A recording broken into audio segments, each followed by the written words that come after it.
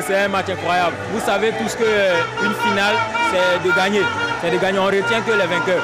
Et je suis très fier de mes, de mes coéquipiers et tout, parce qu'on l'a fait. On l'a fait, on l'a fait. Ça s'est joué sur quoi? Ça s'est joué sur quoi? Sur le mental, sur le mental.